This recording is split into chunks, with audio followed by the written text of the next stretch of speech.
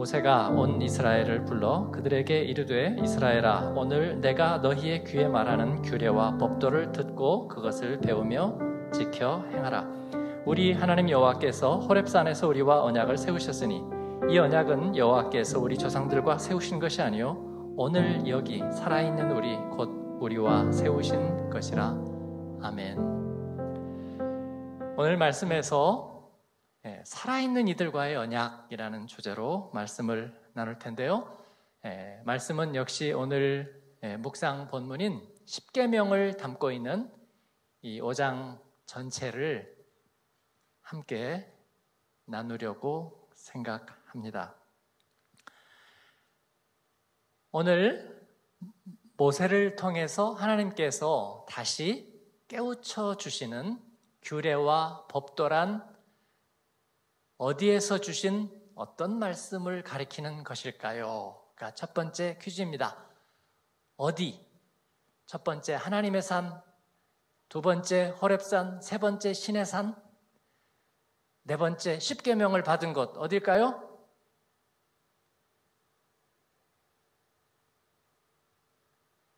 그 중에 아닌 것은 없죠. 1, 2, 3, 4번 다 맞죠.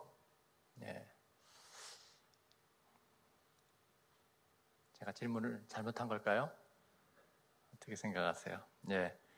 하나님의 산, 신의 산, 호렙산, 그죠? 거기에서 뭐를 받았죠? 그 계명이 핵심적인 여러 말씀이 있었지만 그 중에 핵심적인 것은 십계명이죠. 그래서 5장은 그 하나님의 산에서 모세를 통해서 중보자 모세를 통해서 하나님이 직접 대면하여 이스라엘 백성들에게 주셨던 말씀이죠. 그 말씀은 무거운 공부해야 될 법전 책이거나 지키기도 힘든 생각만 하면 굉장히 마음이 무거워지는 무거운 돌 같은 그런 계명이 아니라 노예로 살았던 그들이 존귀한 하나님의 모델 백성이 되는 그러한 비밀 열쇠와 같은 말씀이었죠. 그것도 엄청나게 긴 말씀이 아니라 열 가지로 아주 명백하게 해주신 말씀이었습니다. 이 말씀을 주셨고 모세는 이제 가나안 땅에 들어가기 전에 다시 한번 다이제스트 핵심적인 것으로 요약해서 이제 광야 생활을 정리하고 너희들이 또다시 광야처럼 살지 않고 약속의 땅을 사는 법으로서 이 말씀을 꼭 집어주는 거예요. 이런 걸 뭐라 그래요? 쪽집게 과외. 예. 모세는 쪽집게 과외를 하고 있는데 이것은 저 신의 산에 있었던 사람이나 너희들의 조상 아브라함 그들을 향한 것이 아니라 너희 지금 살아있는 너희 네? 저 나중에 너희들의 후손 가나안 땅에 들어가서 나중에 살게 될 그 사람들 나중에 이제 그들이 도시화되고 국가를 이루고 살면 그때나 필요한 그게 아니라 바로 지금 너희 살아있는 너희와의 언약이라.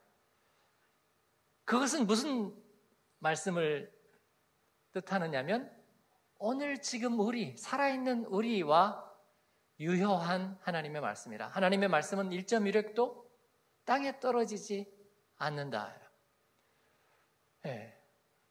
진보적이라고 스스로 자처하는 사람들이 성경을 하나님의 말씀대로 읽는 것을 두려워해요. 소위 비벨 트로이, 성경의 신실한 태도를 싫어하고 성경을 고전 취급하는 거예요. 노노맹자 취급해서 노노맹자보다는 노노맹자의 해석서를 더 중요하게 여기는 거예요. 그래서 예, 하나님의 말씀에 관하여 얘기하는 건 좋아하지만 하나님의 말씀대로 사는 것은 싫어해요. 예, 불가능하게 여겨요. 그래서 다 신학자가 되고 싶어 해요. 하나님의 말씀에 대해서. 그러면 아무것도 아니에요. 그렇죠? 예. 가족은요, 1천만 옆으로 나가면 아무것도 아니에요. 그죠? 위아래 일천이 가족인 거잖아요. 옆으로 일천만 나가도 남이에요. 아무것도 아닙니다. 하나님의 말씀은 카더라 해버리면 아무것도 아니에요. 그건 그냥 썰입니다. 그냥 생각이에요. 그래서 나뭇가지 하나 꺾지 못하고 돌멩이 하나 움직이지 못하는 아무것도 아닌 거예요. 그래서 그런 것은 무섭지도 않아요, 여러분. 하나님의 말씀은 직접적으로 열쇠가 됩니다. 한국에 가면 당기세요라고 써 있는 도어는 밀어도 다 열려요. 네. 저는 이게 한국 사회가 가장 시급하게 고쳐야 될 예. 사회적인 약속, 그것도 명령형 사회적인 약속이 전혀 무의미하다는 것을 보여주는. 그래서 당기세요 하는데 밀다가 이마가 쾅 부딪혀서 다치는 일이 생겨야 되는 거예요. 그래야 사람들이 아하 당겨야 될 때는 꼭 당겨야 되는구나. 그게 필요 없다면 그 말을 써도 되고 안 써도 되고 아, 누군가가 그냥 잘못 썼나 보죠. 문 만드는 회사에서 그냥 그렇게 나와요가 아니라 그렇게 잘못된 말을 쓰는 사람에 대해서는 예, 벌금이나 제재가 있어야 되겠죠. 그래야 우리가 서로 언어에 대한 신뢰가 생기겠죠? 커뮤니케이션에 대한 신뢰가 생기겠죠? 그런데, 아, 그렇기도 해요. 라고 말하는 게 통용되는 사회.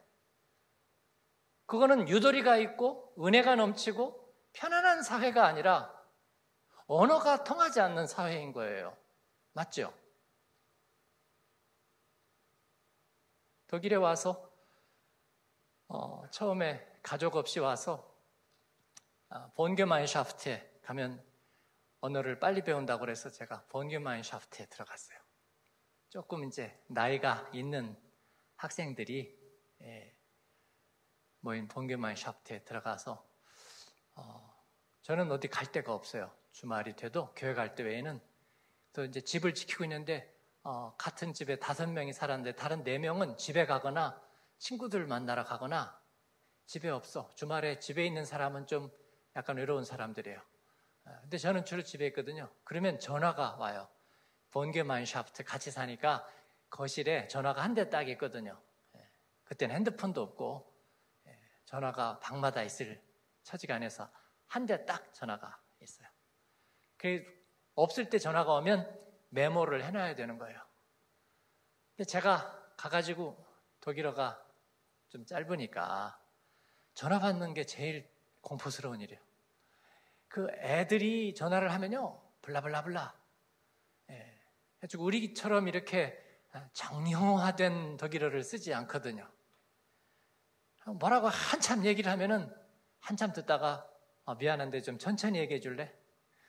그럼 어떤 애들은 또 저를 한참 가지고 놀아요. 어디서 왔으며 뭐 어떻게 되며. 예. 그러면 제가 절제 전화로 신문을 받고 인터뷰를 하다가 예. 그런데 처음에는 어, 토마스 예. 토마스가 집에 있느냐? 그러면 nine es nicht 그러면 es nicht 그러면 또 nine 그래야 되거든요. 그러면 문법적으로 생각해서 니스다라고 물어봤으니까 우리말로 야 하고 싶은데 없니? 그러면 어 하고 싶은데 독일어는 없니? 그러면 아니? 그래야 되니까 없니? 니스다 그러니까 나인 또한 번 물어봐요 니스다 그러면 야 두 번 물어보니까 기가 약해져 가지고 야 그러면 그쪽에서 이제 화가 나는 거예요 oder nicht da? 그러면서. nicht da. 아, 마음이 약해져가지고. 왜 나한테 그러니? 너, 너, 너를 힘들게 해. 나도 너 힘들게 할 거야. 예. 어, 우리 언어는 탁월합니다. 그런데 약간 마음 약한 언어 같아요. 그래서 어, yes no를 분명하게 하는 데 있어서 우리는 약간 피해의식이 있어요. 그래서 어, 당기세요라고 써놓는데도 밀 수 있도록 허용을 해놓는 거예요. 그래서 당기세요 하지만 다 밀어요. 한국 가면 저도 적응이 돼가지고요. 어, 당기세요 이제 보이지도 않아요. 그냥 무조건 밀고 가요. 양쪽에서 다 밀고 가요. 독일에서 그러면 머리 찌죠. 예. 도리켄 이래야죠. 네덜란드 가면 트레켄 네, 비슷한 말이에요. 밀어야지 찐 하면 잡아다녀야 되는 거죠. 언어가 분명해야 되는 거예요. 하나님의 말씀은 분명해요. 그것에 관해서가 아니라 직접적인 말씀인 거죠. 예, 고속도로나 국도를 가다가 예, 밖으로 아우스파트, 예, 소르띠 빠져나가는 길. 그런데 거기에 속도를 줄이라 돼 있어요. 어, 보통 고속도로는 길게 돌기 때문에 어, 속도를 꽤 내 가지고 가도 별 문제 없이 돌잖아요. 예, 그런데 갑자기 40km라고 써 있는 고속도로 아우스파트가 전에 아마 45번 고속도로인지 오래됐어요. 그런데 갑자기 40km가 돼 있는 거예요. 고속도로인데. 아, 물론 2차선 고속도로지만, 어? 40km? 그럴 리가 없는데, 그리고 조금 빨리 갔는데, 굉장히 급커브로, 예, 고속도로 출구가 돼 있어서 40km 안 가면은 위험한 거예요. 근데 약간 눈이 온 뒤여서 살얼음이 약간 있었어요. 제가 거기에서 춤을 추었습니다. 아, 거기서 그리던 성도를 만나게 되는구나 생각했어요. 제가 보니까 그때 한 70km 정도 간 것 같아요. 보통 같으면 70km 괜찮아요. 근데 거기다가 날씨가 조금 안 좋았고 거기서 40km라고 써놓은 데는 네, 오래전 이야기입니다. 저는 이제 그런 부분에 대해서 굉장히 예, 분명하게 하려고 생각해요. 잘못하는 경우가 있어도 분명하게 제가 잘못했다고 생각하는 그런 거예요. 이해가 되시죠? 예. 모든 걸 다 잘한다는 걸 의미하는 게 아니라 예를 들어 그러고 나서도 옛날에 저의 예, 어린 시절부터 습관된 사고방식 같으면 왜 길을 이렇게 만들어놔? 라고 하든지 첫 번째. 두 번째, 왜 40km라고 해놓을까? 라는 거. 그죠? 예. 날씨가 왜 이럴까? 그런 거. 근데 그거 아니죠. 네. 그러면 그러면 거기다 40kg라고 해놓지 말아야 되나요? 한국에서 지금 그렇지 않지, 않겠지만 않겠다고 믿고 싶지만 예, 아니라면 뭐라고 할까요? 20kg? 예. 아니면 막 빨간색으로 막 해골을 그려놓거나 예. 그러면 사람들이 더 이상 믿지 않는 거죠. 그래서 아 여기 큰 문제가 있나 보다 하고 정말 천천히 가니까 괜찮은 거예요. 사람들이 그 다음부터 막 달리기 시작해. 여러분 이게 커뮤니케이션의 혼선이에요. 교회 안에서도 역시 그러한 과장과 그리고 무시가 하나님의 말씀에 대해서 이루어지고 있다는 것을 저는 자라면서부터 배웠어요. 아무도 하나님의 말씀을 있는 그대로 심각하게 받아들이지 않아요. 그리고 또 어떤 부분은 지나칠 정도로 하나님의 말씀을 과장해 놓았어요. 예. 여러분, 혈압은 높아도 문제고 낮아도 문제이죠? 당은 높아도 떨어져도 문제예요. 그렇죠. 백혈구, 적혈구 다 마찬가지입니다. 생명에 관한 것은 많아도 적어도 문제예요. 하나님의 말씀은 정확해야 하고 그리고 있는 그대로 대우해야 하고 말씀과 관련된 커뮤니케이션은 생명과 관련된 커뮤니케이션은 정확해야 돼요. 의사가 글쎄요, 잘 모르겠는데 제가 말할 것은 별로 없어요. 그건 친절한 게 아니에요. 생명을 위협하는 태도입니다. 그리스도인은 생명과는 관련 없는 서비스에 관련된 건가요? 서로에게 기분 좋게 하기 위한 건가요? 그냥 띄워주는 것? 아니죠. 그런 것은 없어도 그만이죠. 신명기는 이 말씀이 절대로 그럴 수 없다는 것을 말해주는 거예요. 저와 여러분에게. 교회를 다니다 보면 신명기 정도는 들었지. 그것 외에 아무것도 아니라면 지금 살아있는 이들과의 약속이라고 말할 이유가 하나도 없는 거예요. 그렇죠? 우리 한국 사회가 많이 발전하고 있습니다. 그래서 요즘 한국에서 약속 시간 어기는 사람이 없죠. 없습니다. 차가 아무리 막혀도 교통체증이 있어도 예, 약속 시간을 늦는 사람은 없어요. 사람들이 전부 다 제가 아, 놀랐어요. 예, 한국을 예, 이렇게 갈수록 전에 20몇 년 전하고 생각해 보면요. 사람들이 약속을 하면요. 발을 동동동동동동 구르면서 약속을 지키려고 해요. 그것은 굉장히 좋아진 거예요. 제가 젊은 시절에 한국에서는요, 그냥 어, 우리 친구를 지하철역 앞에서 두 시간을 기다린 적도 있어요. 예. 기다리다가 전화해 보면 떠났대. 예. 두 시간을 기다렸는데, 어 차가 막혀가지고 분명히 늦게 출발했을 텐데, 예, 두 시간을 기다린 적도 있어요. 그 정도는 우리가 에티켓과 미덕이 되는 거죠. 아프리카 가면 그래요. 예배 시간이 예, 주일날이에요, 그냥.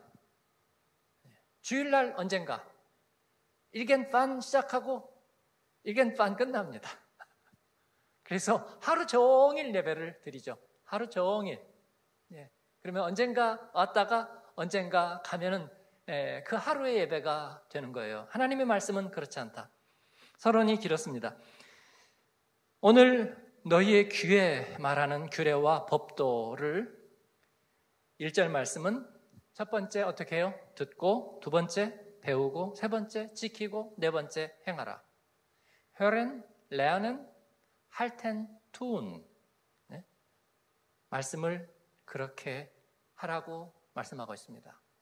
문자적으로 그대로 안 하면 큰일 날 줄 알아. 그는 협박이 아니라 마치 가구 설명하는 조립 그림이 정확하게 돼 있어서 나사가 그냥 어딘가 있다고 대충 그려져 있는 것이 아니라 정확하게 돼 있어서 가구를 탁 보면 아, 이 그림이 이걸 말하는 거구나. 이 나사는 바로 이 자리를 말하는 게 분명해. 앞인가 뒤인가 위인가 아래인가 그림 척 보니까 알겠어요.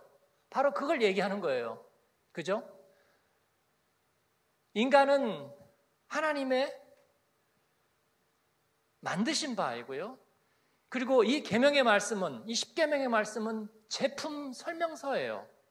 그렇기 때문에 정확하게 암과 수가 그죠?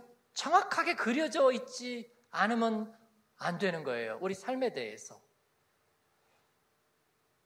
이 십계명의 말씀을 우리가 지키려고 그대로 우리들의 삶에 적용하려고 그 표현 그대로 하려고 노력해 보았나요? 예. 그러지 않는 데서 다시 하나님의 백성의 비극이 싹 트는 거예요. 그러면 약속의 땅이 실종되는 거예요. 신명기가 사라지고 말씀이 사라지니까 다시 당기세요. 그러면 밀고 미세요. 그러면 또 밀죠. 예? 다 그런 거지 뭐. 은혜스럽게. 예. 그렇지 않다는 것입니다. 그리고 이 말씀은 어디 저기 미국 그리스도인, 요즘 미국 어렵대더라. 예, 그리고 막연한 한국 교회가 아니라 저와 여러분의 교회. 우리들의 삶의 자리, 오늘 하루의 우리들의 말씀 생활. 하나님의 말씀을 가지고 우리가 아멘 했듯이 우리들의 삶 속에서 말씀을 정확하게 적용하고 살아내는 그렇죠? 여러분, 정확하다는 것은요, 내가 그렇게 못했을 때 엄청 부끄럽고 수치를 주는 것만은 아니에요. 그죠? 오히려 우리를 자신있게 하고 분명하게 만들어줍니다. 정확한 선을 지키지 못했을 수 있지만 이 정확하다는 것이 나를 죄의식을 주는 것만이 아니고 바로 그것 때문에 아하 바르게 서야 되는 것을 알게 되었다는 안도감을 주고 거기에서 발전이 있는 거예요. 율법을 율법적이라는 의미 때문에 무조건 배타하고 그러면 무조건 은혜인 줄 알아요. 그건 틀렸죠. 집을 똑바르게 하지 않고 우리 전에 교회가 뼈대만 있을 때 방문하신 강 목사님이라는 분이 계세요.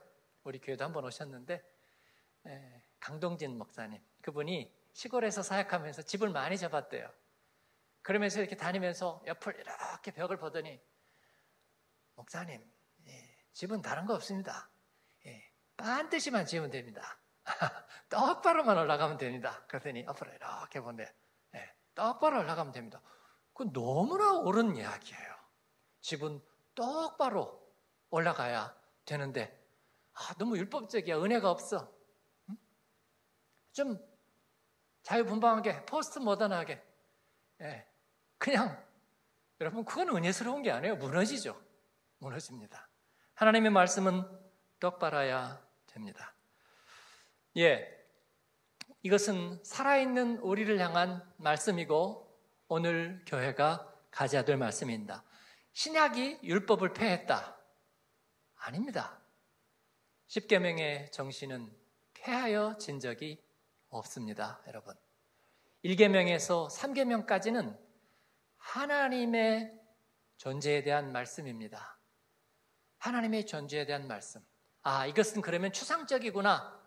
아니요, 그렇지 않습니다. 이것은 우리가 누구인지를 말해주고, 그리고 우리의 존재가 누구로부터 왔는지 말해주고, 그리고 그분이 우리를 창조하시고, 우리의 주인 되신 하나님이 어떤 분이신지를 말해주고, 그분을 어떻게 대우해야 되는지를 말해 주는 것입니다. 그 하나님은 대체가 불가능하신 하나님이십니다. 그래서 나 외에는 다른 신들을 내게 두지 말라. 그런 거예요. 그분은 대체 불가능한 하나님. 그 하나님을 대체하려는 그 모든 것들은 뭐가 되는 거예요? 나의 우상들, 우상이 되는 거죠. 예. 예. 우상의 대표적인 것은 가나안 땅에 들어가면 어떤 우상이 있었죠? 예? 바알. 예. 바알이라는 우상이 있었죠. 어, 자연을 다스리고 그리고 풍요를 약속해주는 자연과 풍산의 신. 예, 그 바알 신이 있었는데 바알 신의 특징은 네 가지가 있어요. 첫 번째는 예, 그게 신이라고 여겼지만 사실은 사람들의 그 마음 안에 있는 갈망을 대신 반영해 준 거죠. 사람들의 바알을 통해서 대신 드러내고 싶었던 갈망은 뭘까요? 자아, 자아를 숭배하는 거예요. 그래서 풍요롭고 풍성한 것을 꿈꾸는 그들은 그 자아의 욕망을 숭배하고 싶은 거예요. 그래서 바알을 만들어 놓고 자아가 주인 되는 삶을 꿈꾸는 자아숭배, 자아도취. 오늘 우리들에게 우상은 그런 거죠. 예. 자아를 인정하고 자아를 실현하고 자아를 가장 중요하게 여기는. 그래서 또다시 커뮤니케이션이 틀려져요. 왜냐하면 내 자아가 시키는 대로 얘기하면 되는 거예요. 어? 너는 그것을 민다고 봤어? 나는 당긴다고 봤는데? 라고 얘기하면 끝난 거예요. 축구 referee에게 가서 그게 아웃이라고? 나는 다르게 봤는데? 그래서 요즘은 어떻게 해요? 전에는 referee에게 절대 권한이 있었습니다. referee가 틀릴 수 있다는 것 자체도 그 스포츠의 미덕이었어요. 요즘은 그 미덕이 깨졌어요. 그래서 카메라를, 초고속 카메라를 돌려보는 거예요. 사람들이 경기하지만 더 이상 사람들이 역할을 하지 않아요. 기계가 판정해 주기를 기다려요. 그건 정확함에 대한 생각인가요? 아닙니다. 우리가 각자 자아를 양보할 생각이 전혀 없는 거예요. 내가 틀리지 않았다는 것을 어떻게든지 입증해 내고야 말겠다는 거예요, 여러분. 행복하지 않은 사회입니다. 부모님들은 자녀들이 거짓말을 할 때 많은 경우 속아 줍니다. 그렇지 않으면 관계가 깨지기 때문이죠. 하나님은 우리를 짝사랑하시면서 우리들의 불의와 죄악을 너무나 많이 기다리고 참으셨습니다. 왜냐하면 우리를 구원하기 위해서입니다. 바알과 같이 자아를 숭배하는 우상을 하나님은 기뻐하지 않으십니다. 바알은 또 뭐를 숭배했을까요? 예. 아, 바알을 통해서 이스라엘 사람들 또 가나안 족속들은 뭐를 숭배하고 싶었을까요? 자기 권리를 숭배하고 싶었던 거죠. 예. 오늘날은 그 극단적인 이야기입니다. 미국의 폭동은 예, 피부색과 인종에 대한 존엄성을 얘기하는 걸까요? 그런데 왜 약탈을 하죠? 예. 구찌, 루이비통 이런 데서 막, 막 이만큼씩 들고 가는 것을 봤어요. 많이도 들고 가더라고, 그냥. 확 다 집어가지고 들고 가던데. 어, 어, 왜 그러죠? 어, 빼앗긴 권리에 대한 항의 같지만 사실은 우리 시대가 자기 권리를 우상화하기 때문이에요. 제가 우리 한국 사회가 거대한 예, 민원 창구 같다 그런 이야기를 몇 년 전부터 한 적이 있어요. 억울한 거 절대로 못 참는 사회가 되고 있지 않나 저는 그게 좀 걱정스러워요. 물론 우리나라는 국난을 당하면 잘 뭉쳐요. IMF 때 잘 뭉치고요. 또 코로나 하니까 어, 잘 뭉치더라고요. 그런데 그럼에도 불구하고 자꾸 자꾸 권리를 우상화하는 그래서 소송과 분쟁이 점점 점점 많아지는 그런 사회가 되는 그러면 이혼율도 높아지는 거예요. 우리가 하나님만이 우리의 신이 되고 그분만이 우리에게 두려움의 대상이 된다는 것. 그 하나님은 초월적인 하나님이에요. 초월적인 하나님이란 말은 어렵다는 말이 아니라 키 잴 수 있는 것보다 한없이 올라가서 키 잴 게 없다는 거예요. 남편과 아내, 아들과 딸보다도 키가 한참 높은 하나님은 그런 것들과 비교가 안 돼. 잽이가 안 돼. 그래서 하나님은 초월적이에요. 하나님이 높이 올라가시면 부자도 가난한 사람도, 지혜 있는 사람도, 미련한 사람도, 장애가 있는 사람도, 건강한 사람도, 리더인 사람도, 아니면 거기에 종속되는 사람도 전부 다 하나님에게 종속이 되는. 그래서 오직 나만이 너희의 주인이고 기준이 되는 하나님이라 그런 거예요. 권리는 또 하나의 우상이에요. 네, 자기 주장의 우상. 그리고 또 무슨 우상이 있죠? 예, 성에 대한 우상이 있죠. 정욕에 대한 우상. 오늘날 어, 성경에도 보면 남창과 여창이 있었습니다. 예, 동성연애라는 것은 오늘 현대에 와서 새로 개발된 인간의 어떤 어, 젠더에 대한 각성이 아니고요. 옛날부터 있었던, 즉, 자기를 기쁘게 하려는 인간의 성향이에요. 자기를 기쁘게 하려는 인간의 성향이 무엇보다 도덕적인 가치보다 나를 기쁘게 하는 게 훨씬 더 우선이다. 너 왜 솔직하지 못해? 네가 갈망하는 게 있잖아. 그것을 드러내. 라고 얘기하는 거예요. 그래서 오늘날에는 심지어 승려와 신부와 목사들조차 자기의 젠더의 자유를 얘기하고 네 자신을 기쁘게 하는 성향을 드러내 하나님이 주신 거야. 그렇죠. 하나님이 주신 거죠. 우상이라는 하나님이 주신 것. 자기를 기쁘게 하는 거예요.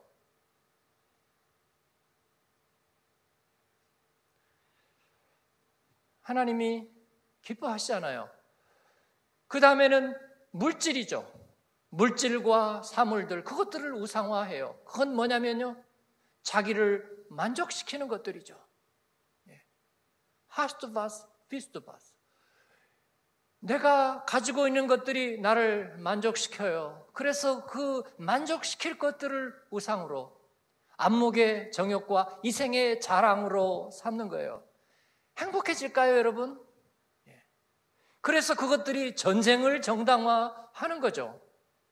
자기 권리를 우상화하고 자기 만족을 우상화하기 때문에 전쟁은 정당화 되는 거예요, 여러분. 사회 내에서의 전쟁은 소송으로 끝나겠지만 공동체를 넘어서면 직접적인 살상이 일어나는 전쟁이 되는 거예요. 그러나 하나님 한 분만을 섬기고 이 우상을 만들지 말며 어떤 인간에도 어떤 권리에도 우상을 만들지 말며 결코 자기를 만족시키는 것을 핑계와 변명으로 삼지 말아라. 그런 사람들은 뭐가 될까요? 바보가 될까요? 아니죠. 그런 사람들은 하나님 예배자가 된다는 거예요. 참된 하나님 예배자. 그 사람들은 그러면 무슨 얘기를 할까요? 어? 나를 무시해? 내 권리는 어디 갔지? 내가 나를 기쁘게 하는 게 죄야? 내가 나를 만족시킬 권리가 없나? 그렇게 말하지 않고 그 하나님 예배자들은 뭐라고 얘기할까요? 주님, 감사합니다. 주님 나를 써주세요. 주님을 찬양합니다. 주님으로 내가 만족합니다. 이 등신 전체들 그거 외에는 할 말이 없느냐고? 할 말이 없습니다. 그것으로 충분하게 살아가는 거예요.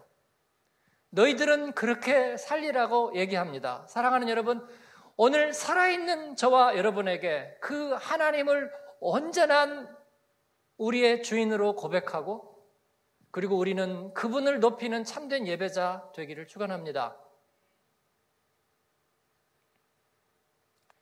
자기를 기쁘게 하는 성적 욕구는 도덕적 가치만 못한 것입니다. 왜 모든 사람이 아침과 저녁에 떠오르는 자기의 욕구에 충실해야 하나요? 왜? 아침에는 남자를 사랑하고 저녁에는 여자를 사랑하고 그게 왜 절대적인 가치가 되었나요? 그걸 인정하지 않으면 목사와 신부가 체포를 당해야 되는 이 합법화된 우상의 시대. 근데 이건 단지 동성애에 대한 문제만이 아니라 모든 삶의 가치가 그렇게 가고 있는 거예요. 내가 나를 기쁘게 하는 것이 저촉되면 누구라도 들여받을 수 있는 여러분 그것은 약속의 땅이 아닌 거예요. 하나님은 우리에게 가장 하나님이 기뻐하시는 가장 이상적인 시냇가에 심은 나무와 같은 하나님의 공동체를 그런 새로운 사회를 우리들에게 약속하고 계세요. 십계명은 바로 그와 같은 것입니다. 그분의 이름을 망령되이 일컫지 않을 것입니다. 하나님이 은혜의 하나님이라면 이거 좀 한번 해줘봐. 우리는 그렇게 말하지 않을 거예요. 우리가 기도할 때에도 가만히 보면 그 언어의 분화가 이루어지지 않았어요. 기도니까 무조건 마지막에는 해주세요 라고 해도 된다면 여러분 기도의 언어는 뭐가 부탁이고 뭐가 응답인지가 너무나 분명하지 않은 거예요. 하나님, 내가 예수님 잘 믿어서 주님을 기쁘시게 살도록 해주세요. 예수님을 잘 믿는 것은 하나님이 믿어야 되는 건가요? 내가 믿는 건가요? 아, 목사님 되게 까다로워. 우리 그냥 그렇게 말하고 살았거든요.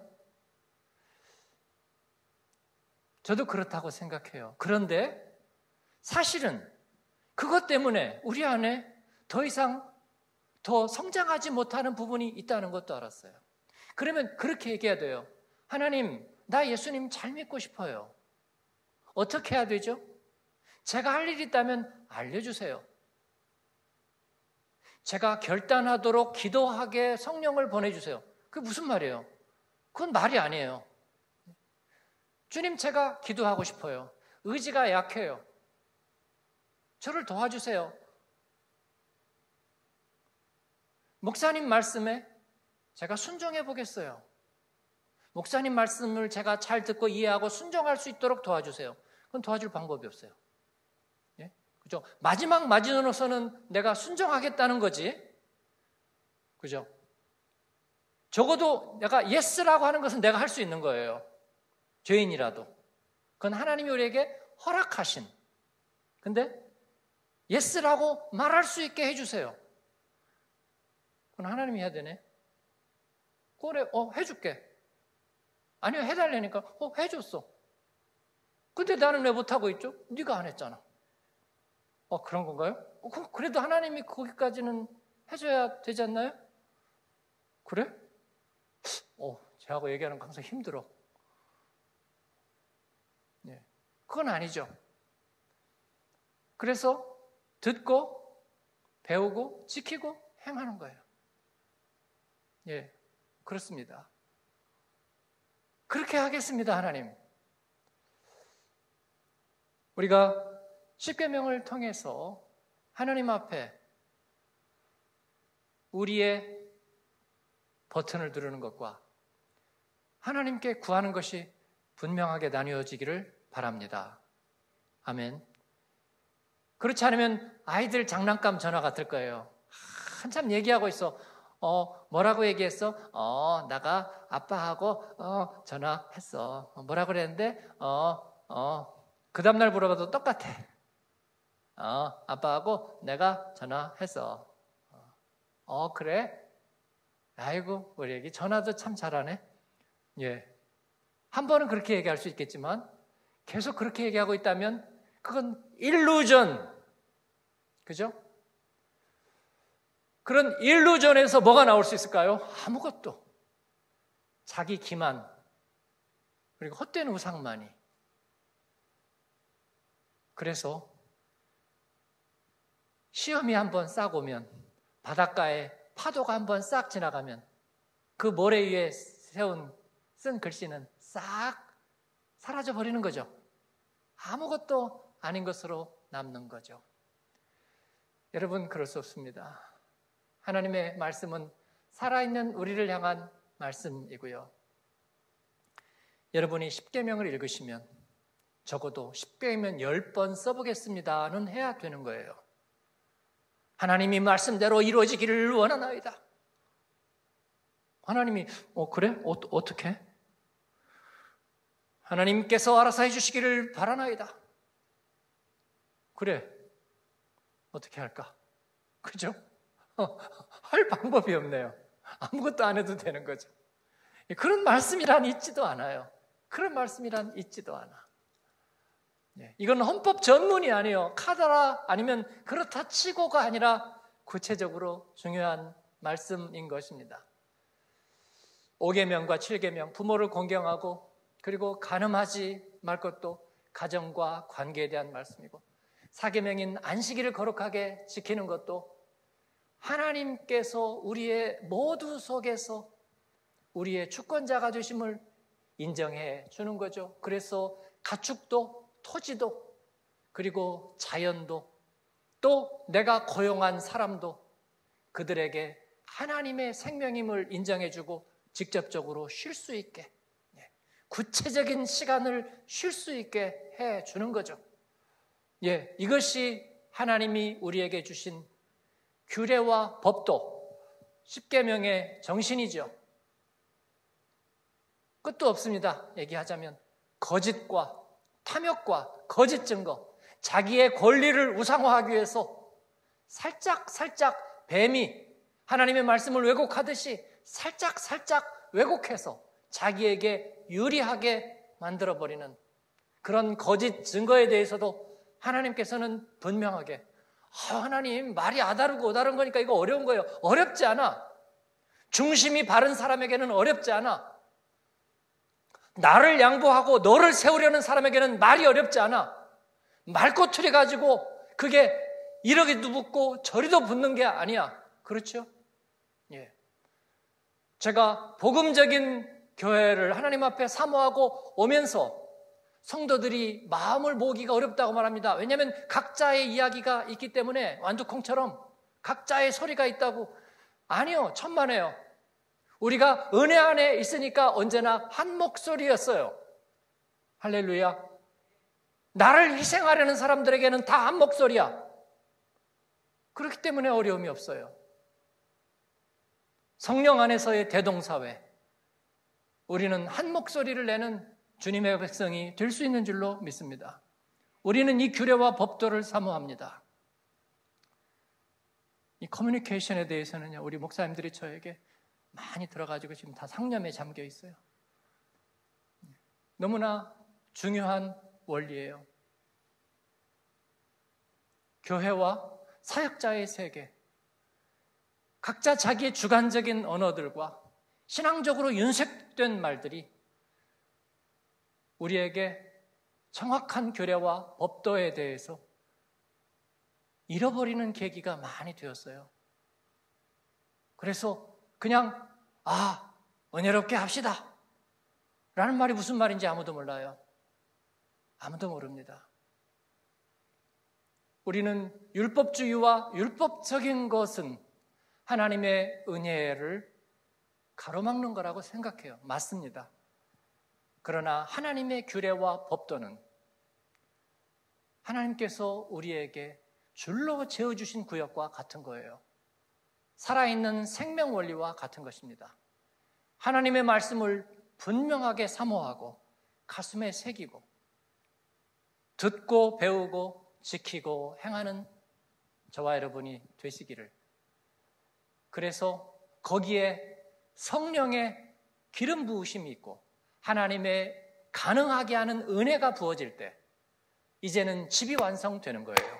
뼈대가 섰으니까 거기에다가 이제 콘크리트가 부어지고 미장이 된다면 아름다운 집이 지어질 것입니다. 약속의 땅은 그러한 집을 지어 갈 것입니다. 규례와 법도를 세우고 그리고 거기에 피난처와 도피성을 세웁니다. 도시와 농경이 이루어지고 산과 그리고 고원지대와 해안가와 그리고 강가가 어우러지는 단에서 부엘세바까지 요단에서 대해까지 이루는 하나님의 약속의 모델하우스가 지어지는 것입니다. 온 세대가 그리고 여러 민족이 하나가 되어서 초월적인 하나님의 한 분 두심을 찬양하고 예배하고 경배하는 사회. 우리는 그 사회를 꿈꿉니다. 정확한 커뮤니케이션, 그리고 분명하게. 다 이렇게 되고 싶습니다. 할 때 이것을 하지 말지니다 하나님의 분명한 교통 표시판이 선명하게 보이고 그대로 지켜지는 사회. 우리가 함께 이루어 나가야 될 십계명적 사회. 그리고 약속의 땅인 줄로 믿습니다. 하나님께서 저와 여러분을 그렇게 사용하시기를 주님의 이름으로 축원합니다. 아멘.